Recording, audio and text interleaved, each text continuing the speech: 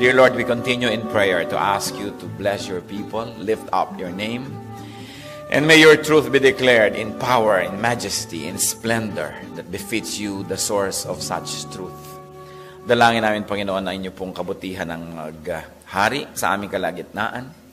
Even as we are gathered here enjoying your protection, may you also protect our loved ones who are out of sight right now. May you protect all the things that you've given us, even the properties, O Lord, that are now uh, under your care. Hinihiling namin, Panginoon, na kami, ang mga tungkulin namin at mga dapat bantayan na ngayon ay di namin nagagawa dahil kami nagtitipon-tipon to worship you.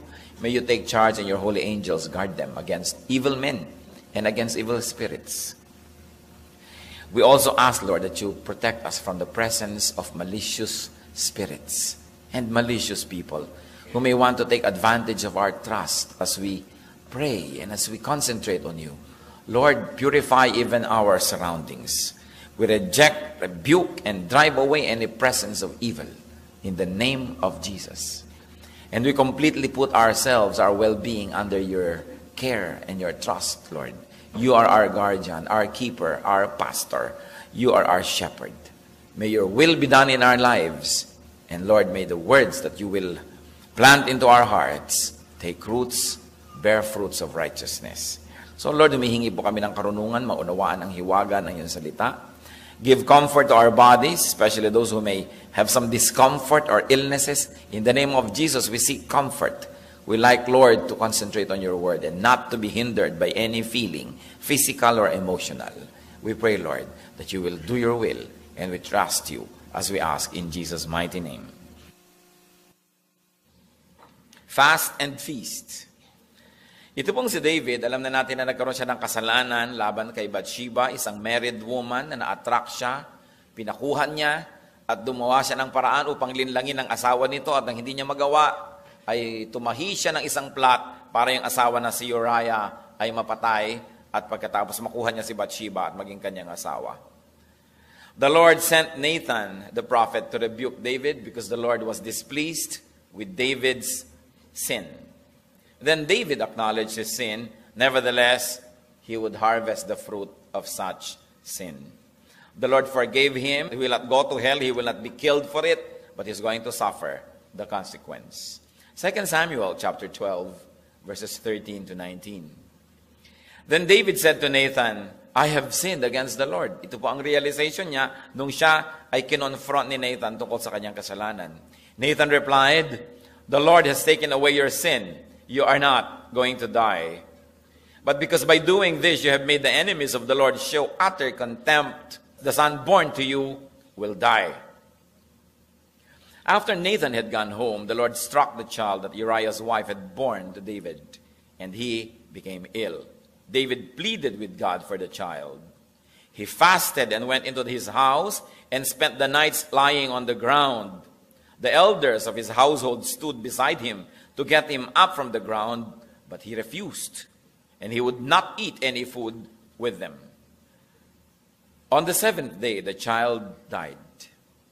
David's servants were afraid to tell him that the child was dead, for they thought, well, the child was still living. We spoke to David, but he would not listen to us. How can we tell him the child is dead? He may do something desperate. David notices that his servants were whispering among themselves, and he realized the child was dead. Is the child dead? He asked. Yes, they replied. He is dead. Isa pong malungkot na kabanata sa buhay ni David na pinagpala sana ng Diyos ng napakaraming mga bagay. Mula sa pagiging isang pastol, ginawa siyang hari ng kanyang bayan. Binigyan ng maraming tagumpay sa kanyang mga digma binigyan pa ng maraming pabor at pati yung kanyang hilig na napakarami niyang mga kasamang mga nagbibigay sa kanya ng comfort, eh ibinigay pa rin, nandun. David publicly acknowledged his sin. And then Nathan declared that David would not die, that David's son by Bathsheba would die. Hindi po natin topic ngayon yung correctness ng Diyos kung bakit itong batang ito'y kinuha, dapat laging correct ang Diyos at yan ay hindi natin topic ngayon but we have no doubt. Then the baby got ill and the baby died. Let's take a look at how David prayed before this baby died. Let's take a look at David's fast. Siya po'y nangilin at talagang hindi siya kumain ng matagal. What to do before God answers prayer could be the informal lesson we can learn from this episode. David pleaded with the God for the child. David fasted and David lied down on the ground.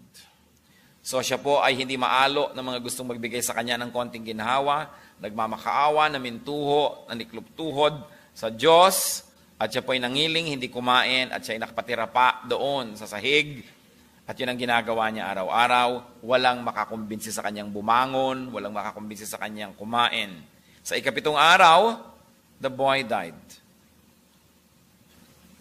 David's servants were afraid to break the news. Sino nga ba naman ang gusto magsabi sa hari na namatay na yung mataimtim niyang ipinagdarasal na anak?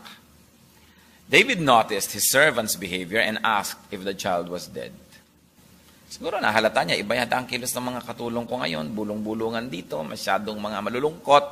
At nagtanong siya, patay na ba ang bata? And the servants answered, yes.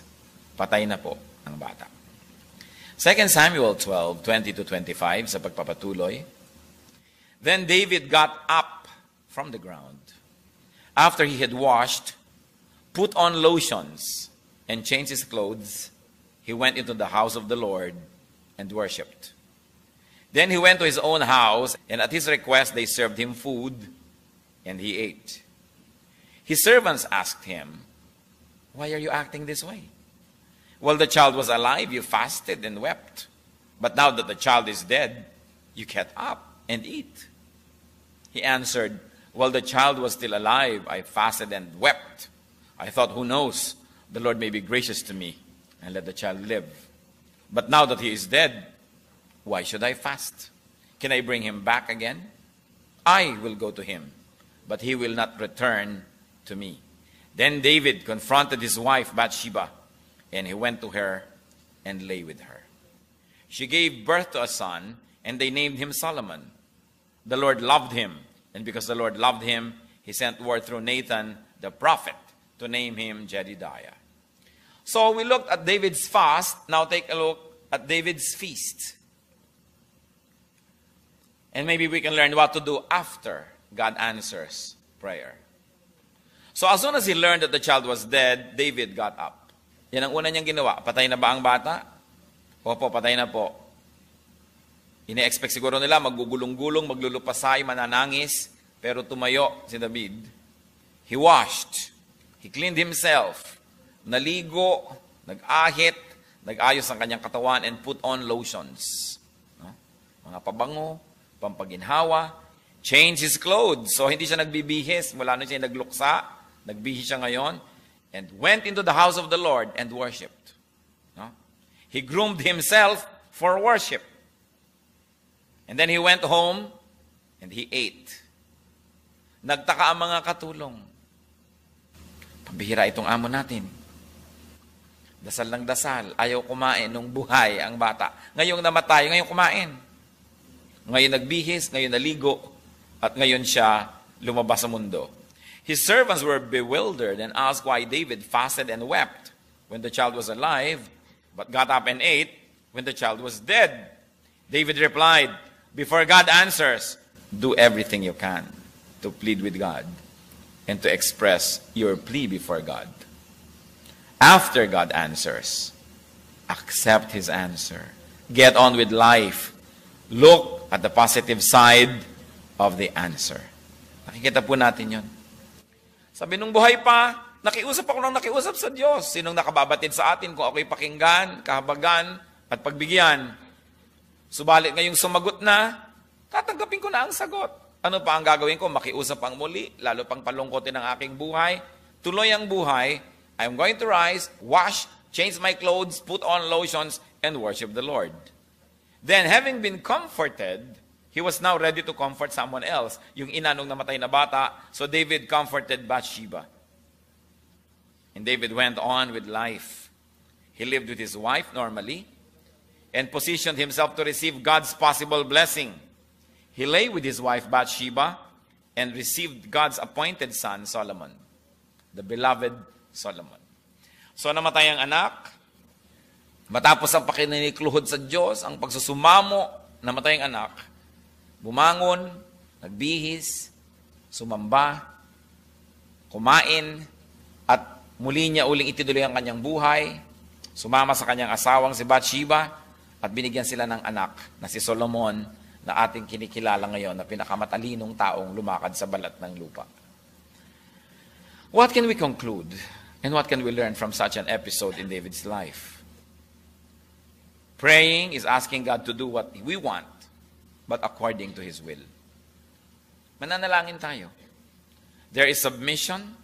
Our prayer may be accompanied by fasting, by fervent pleas, and by expressive acts. But praying is being ready for God's answer, even for a no. Ang no ng Panginoon ay kasing tamis ng kanyang yes. Pareho lang nagaling sa bibig ng Panginoon, so blessing yon. Yung sinabi ng Lord na go and stop, magkamukha lang yun ang halaga. Yung sinabi ng Panginoon na bibigyan kita at di kita bibigyan. Bibigyan kita, babawian kita. Magkasing halaga lang yun sapagkat ang Diyos ting may ginagawa, ting may sinasabi. Sang-ayon man yun o hindi sa ating kagustuhan, yon ay blessing. Because God cannot help but be God. Therefore, God cannot help but bless. Because our God is a blessing God. So sa pakikitungo niya sa atin, lagi niya tayong binebless. Kahit palo ng Panginoon, blessing. Sapagkat kung hindi ka papaluin, eh, baka hindi ka na magising sa katotohanan, magkakalubog-lubog ka sa pusaling iyong pinagtatampisawan. So may palo para ka magising. Blessing yun. May ibinibigay siya, blessing. May ayaw siyang ibigay, blessing. Sapagkat may mga bagay na pag tinanggap natin, nagiging lason sa ating buhay. So as soon as God gives His answer, what do we learn? Accept it. Dadasal-dasal ka, sinagot ka, nung sinagot ka ngayon, dadabog-dabog ka, tatampo-tampo, pagka ang sagot ay no. Kay no at kay yes, thank you Lord, because you're the one who answered. And you cannot be wrong. I may be so emotionally involved with what I want, I may be too engrossed with it, maaring nabubulag ako ng aking emosyon o kagustuhan, pero ang Diyos hindi nabubulag, kaya tama siya. And as soon as God gives His answer, get on with life. Ituloy ang buhay panalangin mo sa Panginoon, one take ka lang sa board, o hindi naging one take, ituloy ang buhay, mag-review uli. Hanggang may mundo at may tinta, kumuha ka ng kumuha ng test. Hanggang may nagbibigay ng examen, take it. Get on with life. Hindi yung tatampo-tampo ka, hindi natupad. Humihingi ka ng ganong negosyo, hindi nangyari. Get on with life. Find another thing to do. Meron kang gustong iligtas na bagay, isang uh, maaring proyekto, hindi natupad, nagiba yun, kadadasal mo naman, get on with life. Hindi pwede na wala ka ng gagawin kundi lingunin ng lingunin yung mga sayang, yung mga himutok, at yung mga hindi nangyari. And then position yourself for God's will and for God's blessing. Ang problema nitong si David, namatayan ng anak. So anong ginawa niya matapos na ang anak na ito ay namatay at nakuha ng Diyos? E di muli siyang sumiping sa kanyang asawa, muli niyang itinuloy ang buhay, at ayun, nagkaroon ng anak. Eh kung mukmuka ng mukmuk, paano nagkakaroon ng kapalit? So nawalan ka na isang hanap buhay, get on with life. Find something to do that will give you another uh, livelihood. Hindi yung magluluksa ka na magluluksa. Nawalan ka na nga, dodoblehin mo pa ang nawala dahil ayaw mong tigilan ng kaaalala yung nawala. Minsan lang nawala, kalimutan mo na magtrabaho kang mabuti para magkaroon ng kapalit.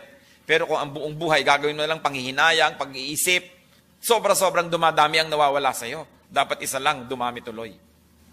Get on with life.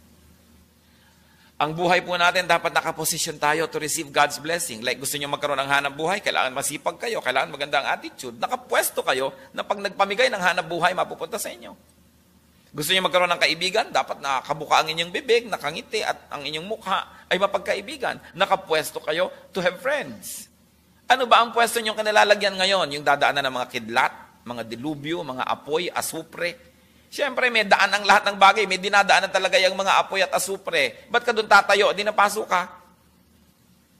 May dinadaanan talaga yung pagpapala. Kaya yun daw puno eh. Sabi, like a tree planted by streams of water, its leaves does not wither It has fruit in season. Why? Kasi doon siya nakatanim sa tabi ng ilog. Hindi siya nakakaramdam ng tuyot. Eh ngayon, puno ka, doon ka pupwesto sa mabato, sa gitna ng tuyot-tuyot na parang, eh di lagi ka na lang araw-araw, ang problema mo tubig. Eh doon ka ba naman nakalagay sa tabi ng ilog, di hindi mo yun pinoproblema. So kung may mga pinoproblema po tayo mga kapatid sa buhay, paulit-ulit na problema, it's a matter of positioning. Saan kayo nakaposisyon? Halimbawa, lagi dala kayo walang pera. Marami naman pera ang Diyos. Naniniwala kayo? Eh bakit yung iba wala? Saan ka nakapwesto? Baka nakapwesto ka sa gasta ka lang ng gasta, expend ka ng spend, walang nagiging kapalit. Mali ang pwesto mo, lumipat-lipat ka. You're spending more than you're earning. You're living beyond your means. Lagi ka siyempre walang pera. O kaya, hindi ka naman nagtatrabaho, hindi ka nagsisikap. Hindi ka marunong magsikhay o mag-ipon o magtabi. Siyempre, lagi kang walang pera. Pero ang Diyos, meron. Ang tanong, bakit ka tuyot? Saan ka nakalagay? Lagi na lang halimbawa kayong malungkot. Bakit? Gusto ba ng Diyos sa palungkotin kayo? Sabi niya siguro, ah, pagdadalang tauhin ko nga yung nanay nito at paglaki, pag ipinanganak to, tatambakan ko na kutakot-takot at lungkot ang buhay nito. Ganun kaya ang plano ng Diyos sa atin? I don't think so. Bakit ngayon malungkot? Pwesto lang yan. Saan ka nakapwesto? Kung mahilig kang magtaksil sa mga tao, lagi kang nakakagalit, malulungkot ka talaga. Kung lahat ng nagtitiwala sa'yo, dinadaya mo, wina 1, 2, 3 mo, nabibisto ka, lumalayo sila sa'yo, malulungkot ka talaga. Kung lagi ang tao layo ng layo sa'yo, tingnan mo na yung sarili mo. Baka mayroong problema ang ugali ko. Paano ko ba ipinupwesto ang sarili ko? Dapat, lagi na lang ako nagiging malungkot. O kaya talagang mahilig ka at naghahanap ng lungkot. Ang pinapatugtog mo, mga punebre, mga nakakaiyak, manonood ka ng mga, mga api-api, mga kawakawawa sa buhay, malulungkot ka talaga. Pwesto-pwesto lang yan. Kaya ang tanong, saan kayo nakapwesto? Ang Lord sends His rain both on the just and the unjust. Let His sun shine on both the wicked and the good. Pati nga yung mga wicked, nabe-bless eh. Yung pa ba kayang anak niya hindi mabless? Kung tatama lang tayo ng lugar. May mga babae lagi na lang po ako nababastos. Ang babastos po ng lalaki sa barangay namin. Eh kung makalakad ka kasi para kang karitela. Halos bumulwak na ang kaluluwa mo dyan sa neckline mo, tapos magtataka ka pa. Nababastos ka. Eh siguro, bastusin ka. Titignan mo ang iyong sarili. Bakit lagi na lang siyang nadudukutan? May taong ganun, pag may nadukutan siya yon. Pag may nawala ng cellphone siya yon. Nakakatiya kayo, burara. Dahil ba't may nawala ng cellphone, sino? Ah, alam ko na. Huwag sabihin, si gano'n, ano? Oh, alam ko na. Hinilapag ko lang naman ho dun eh. Lapag ka kasi ng lapag. Hindi ka na nadala. So, nakapwesto ka eh. Nakapwesto kang manakawa, nakapwesto kang mabastos, bakit tinamaan ng bala? Eh, nagpumagitan ka sa dalawa, nagbabarilan. Tatamaan ka talaga. It's a matter of positioning. Bihirang-bihira yung hindi naman gusto mo nangyari, nangyari lang, talagang akala mo mukhang aksidente. Eh kasi, meron tayong free will. Meron tao, lagi na lang pag nagtanggalan sa trabaho, siya yung tanggal. Anak, ikapitong trabaho mo na yan sa loob ng dalawang buwan, natanggal ka na naman. Talaga hong, you and me against the world, mother masama ang mundo. Yung kaya yun, lagi kang huli, palasagot ka, tamad mo.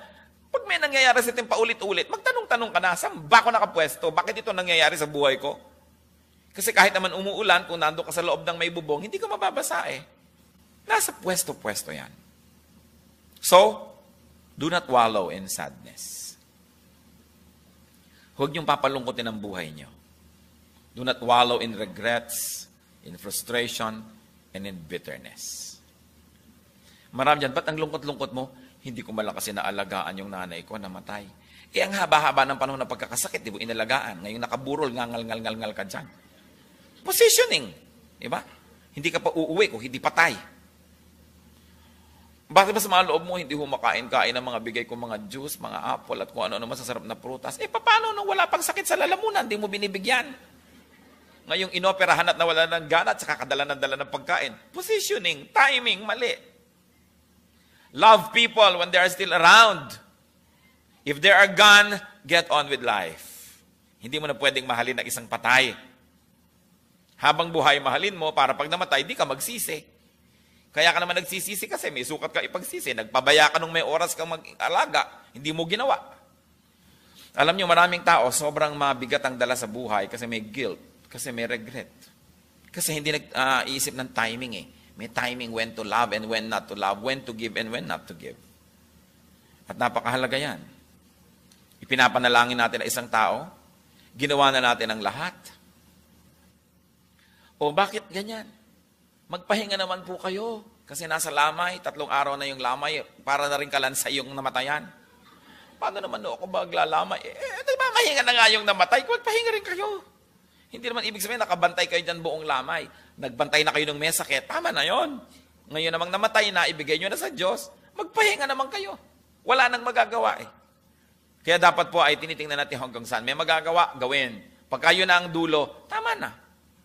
God does not allow us to get into situations beyond our strength, beyond what we can bear. Ba't may nababali? Ba't may nagbe-break? Bakit may bumibigay? Kasi kinakaya nila ang di naman kaya. Binubuhat ang di dapat buhatin, binabalikat ang di dapat balikatin. Kaya sa kabila ng lahat ng pananalangin na wala pa rin ang bata, God knows best. God knows best. Sino makapagsasabi kung yung batang yun ay lumaki ay maging tampulan lang ng tokso buong buhay kasi sa sitwasyon kung paano siya naipaglihi eh masyadong questionable. Sinong makapagsasabi? Kung nag-contraceptive ng, ng contraceptive tong nanay, walang nangyari. Pagkatapos kung natuloy pala yun na ipinanganak ng buhay, eh baka may mga kapansanan. Sino makapagsasabi? Ang alam lang natin, mas mabait ang Diyos kesa sa atin. Therefore, yung ginawa niya, yun ang pinakatama sang-ayon sa kanyang alam. Ang trabaho po natin, hindi sisihin ng Diyos, hindi tuligsain ng Diyos. Ang trabaho natin, isunod at isusog sa kalooban ng Diyos ang ating sariling kalooban. Huwag tayo makikipagtunggali sa Diyos dahil hindi naman tayo mananalo at hindi naman tayo dapat manalo kung nakikipagtunggali tayo sa Diyos. Kaya sumunod. Kaya sabi ng panalangin, sundin ang kalooban mo dito sa lupa gaya ng sa langit. Kung anong kalooban ng Diyos. Meron tayong strong feelings, we have strong opinions, we have strong likes and dislikes. But no matter how much strong that is, dapat willing tayong pag sumagot na ang Diyos, tapos na ang argumento. Sumagot na siya, yun na. Get on with life. How do you react to God's answer to your prayer? Kailangan po pag sumagot na ang Panginoon ng no, tama na. Kaya kailangan din naman marunong tayong makiramdam kung sinagot na tayo ng no. Pastor, siyam na taon ko na pong ipinapanalangin ito eh. Tulungan niyo naman ako manalangin. Sister, baka naman sinagot na kayo ng no, no, ikadalawang taon pa lang. Meron kayong pitong taon na nasayang, kapipilit sa Diyos, hindi niyo naman kayang baguhin ang kanyang isip. So baka tama na yung panalangin na yan, tanggapin niyo nang sinagot na kayo. But of course, we need to pray for discernment. Kung ang sagot ng Diyos eh, no na, oh wait. Ngayon, halimbawa, may hinihingi kayo sa Diyos, ang sagot niya, wait, eh di, ituloy niyo uli ang buhay niyo, hintayin niyo lang dumating. Tigilan niyo siya na kadadasal.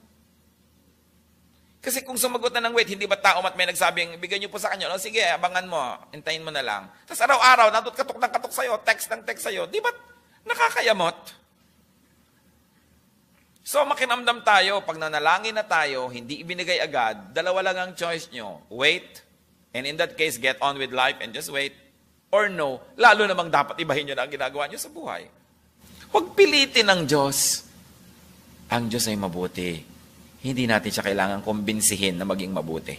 Hindi natin siya kailangan pilitin na maging mabuti dahil likas na sa Kanya yung maging mabuti. Kaya kailangan alam din natin kung dapat pa bang ipinapadalangin to o hindi na. Meron po kaya sa atin ngayon, mga kapatid, na wala kayo ngayon dito. Kahit nandyan yung katawan nyo, wala kayo dito, pero yung diwa nyo nasa nakaraan pa. Wala pa kayo rito sa ngayon. Nasa 1962 pa kayo. Mga what if. Mga natali na tayo sa nakaraan. Wala tayo sa katotohanan kasi ang iniisip natin, what if? Dapat hindi ganito ako eh. Dapat mayaman na kami noon eh. Nasunugan lang kami. Dapat hindi ako talaga ganito. Eh, ganyan ka nga ngayon eh. Di ba? So tama na yung mga dapat hindi ganito. Gusto mo magpayaman ka uli, magsikap, magtrabaho. Dapat hindi ako nawala ng nobyo eh. Ayan, 42 na ako. Hindi pa ako nag- Eh di, medyo put yourself in the market. Di ba? May classified ads naman. May mga singles club at kung ano-ano pa. Gumawa ka ng paraan. At kung talagang wala pa rin, hindi wala. Yun na talaga yun. Hindi yung habang buhay. Ito 10 anyos ka na, nag-iisip ko, ano kaya nangyari kung sinagot ko noon si Carding? Wala na si Carding. May asawa at pitong anak. Nakakatatlong hiwalay na. At huwag mo nang isipin siya. Tapos na. Do not live with regrets and sadness. Bawat araw mahalaga. Kung meron tayong araw ngayon na nagkamali tayo, Tapos bukas, yun ang iisipin natin. Sa makalawa, yun ang iisipin natin. Lugi tayo ng mga bukas na yun at makalawa, nasayang din sila dahil sa isang araw na nasayang na. Kung meron na kayong isang nasayang, isara nyo na yung chapter na yun, tama na. Huwag na kayong magsayang na mga darating pa. Kaiisip nun. Dumadami yung nasasayang eh. The ministry of the Lord, the ministry that has given to prophets, to some of them, and at times also, is a ministry of comfort. Isaiah 61, verses 1 and 3. The Lord has anointed me to bestow on them a crown of beauty instead of ashes, the oil of gladness instead of mourning, and a garment of praise instead of a spirit of despair. Ang buhay is a gift to be enjoyed, not a problem to be solved. Sabi nga no, isang sticker na nakita ko sa isang pinto. Isang problema dapat lutasin. Isa yan na bigay, regalo ng Diyos na dapat enjoyin. Don't cry over spilled milk. Na-spill na yon, tama na. Don't spill your tears. Dumadami ang lugi. So what do we do, brothers and sisters? Whatever your request is, kung anong pinapanalangin nyo, pray hard before God answers. Then relax after God answers at ituloy ang buhay. Kung meron man tayong mga ipinananalangin ding mga mahal natin sa buhay, Lord, huwag po siyang kunin, huwag po siyang kunin. Eh, kinuha na, tapos na ang panalangin. Isuko na sa Diyos. Refresh yourself, put on new clothes. Anoint yourself with balm or ointments. In other words, magikauling pleasant, ready to live again. Huwag tayong maging slave ng mga lumipas ng pag-ibig mga lumipas sa pagkakataon, mga natapos ng mga chapter, mga pangakong di natupad, meron laging future. We don't know what the future holds, but we know who holds the future. His name is Jesus. His name is Jesus. Therefore, the future can be beautiful. But like the past, the future can also be uglified. Pwedeng papangitin. Kung pangit ang ating pananaw, pangit ang ating gagawin, papangit uli. Pero pwedeng pagandahin. Maganda ang balak ng Diyos para sa atin. Balak niya tayong bigyan ng kasiyahan, kahulugan sa buhay. Pero dapat tayo nakasurrender sa kanyang will. Nagka-problema si David kasi nilabag niya ang utos ng Diyos eh. At pagkatapos, nung maisip niya yon, nanalangin siya ng nanalangin, hindi ibinigay ang gusto niya, tinanggap niya ang sagot ng Diyos. Meron po ba kayo na di matanggap-tanggap na sagot ng Diyos? Meron mang bahagi ng ating buhay na nakikipagtunggali tayo sa Diyos ngayon, hindi dapat ganito to. Nandyan na eh. Ang dapat, tumayo, magbihis, maghilamos, maligo, pabanguhin ang buhay para lapitan ang grasya. Anoint yourself with lotions, eat, worship the Lord, and do the right thing hindi pa huli.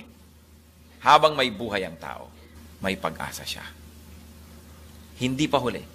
Kasi may panahon. At ang Diyos, ang Diyos ng panahon. Ama namin Diyos, kami po'y lumalapit sa inyo. Salamat maaari kaming matuto sa kasaysayan ni David. Kami mga tulad niya na mga nawalan, ituro niyo sa amin ang lubos sa pagtitiwala sa inyo. Na kung kinuha niyo at nawala na, Panginoon, that we should get on with life dahil marami pang pwede kayong ibigay. Tulad niya, binigyan niyo pa ng anak na si Solomon. Marami kayong pwedeng ibigay na kapalit sa mga nawala sa amin. Maaari kayong magpagaling ng mga sugat namin, magpahilom ng aming mga karamdaman. Maaari kayo, Panginoon, magbigay ng mga taong kapalit ng mga taong nawala na sa aming buhay. Walang imposible sa inyo. Ituro nyo sa amin. Na hindi ko man namatayan na kami ng magulang, ng anak, ng asawa, ng kaibigan, eh parang wala na rin kwenta ang buhay namin at gusto na rin naming mamatay. Lord, ituro mo sa aming kadayaan ito, pandaraya ng kaaway, na ang buhay ay